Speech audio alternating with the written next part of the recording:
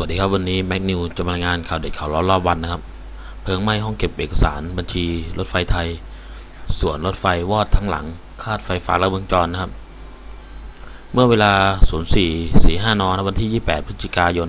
58 ร้อยตำรวจโทพิเชษชาชะโชตพนักงานสอบสวนสอนอบางซื่อรับแจ้งเหตุเพลิงไหม้ในสวนรถไฟประตูหนึ่งถนนกำแพงเพชร 6 แขวงและเขตจตุจักร จึงรายงานผู้กำกับชาทราบพร้อมประสานรถดับเพลิง จากสำนักงงานป้องกันและบรรเทาสาธารณภัยรุดไปตรวจสอบ ที่เกิดเหตุอยู่ตรงข้ามประตูที่ 1สวนรถไฟ เป็นอาคารชั้นเดียวเนื้อที่ประมาณ 40 ตารางวา มีเพลิงลุกขึ้นจากภายในอาคารเจ้าหน้าที่เร่งฉีดน้ำสกัดอย่างเร่งด่วนนะครับ โดยที่ประชาชนที่มาวิ่งออกกำลังกายภายในรถสวนรถไฟนะครับจำนวนมากพากันตื่นตกใจ เจ้าหน้าที่ใช้เวลา 15 นาทีจึงสามารถควบคุมเพลิงไว้ได้นะครับ จากการตรวจสอบพบว่าเป็นอาคารของกองจัดการ ธุรกิจพิเศษ ฝ่ายบริหารทรัพย์สินการรถไฟแห่งประเทศไทย ซึ่งใช้เก็บเอกสารบัญชีของรถไฟไทย เสียหายทั้งหลัง เบื้องต้นไม่พบผู้บาดเจ็บหรือเสียชีวิตแต่อย่างใดนะครับจากการตรวจสอบนะครับสอบสวนผู้ที่ผู้ที่เห็นเหตุการณ์นะครับ ให้การว่า